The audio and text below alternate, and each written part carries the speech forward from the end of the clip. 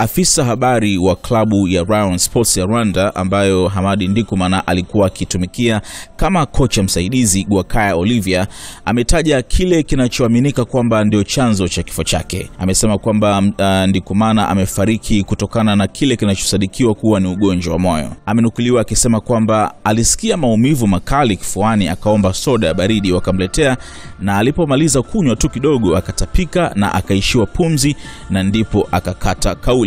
Sasa uchunguzi unaendelea zaidi ili kuja kupata ile taarifa rasmi kutoka hospitali ambayo itaeleza nini hasa chanzo cha kifo cha Hamadi Ndikumana. Lakini pia mwanasoka mwenye asili ya Rwanda ambaye anachezea hapa Tanzania, Haruna Niyonzima ameeleza kile ambacho alikuwa nakifahamu kuhusiana na historia ya marehemu.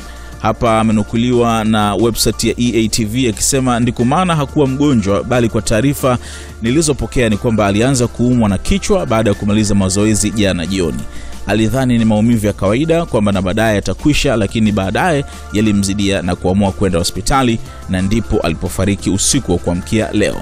Ameongeza, nachofahamu mimi ndiko maana alikuwa na maradhi ya moyo, lakini nikipata taarifa zaidi kutoka kwa watu waliopo nyumbani nitajua zaidi nini chanzo. Lakini ndio hivyo, kama alivyosema msemaji ama afisa habari wa klabu ya round Sports ya Rwanda ambayo ndiko maana alikuwa kocha msaidizi, ni kwamba ugonjwa wa moyo ndo unasadikika kwamba uh, ndio chanzo cha kifo cha Hamadi Ndikumana.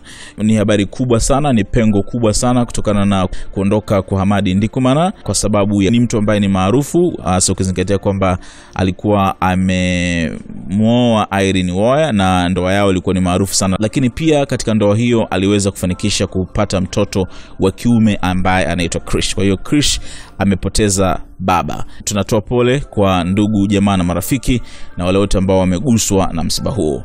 Taarifa zaidi zinaendelea kutoka, tutaendelea kuwajuza pindi zinapopatikana. Subscribe kwenye channel hii ya SNS ili kuendelea kupata taarifa zaidi.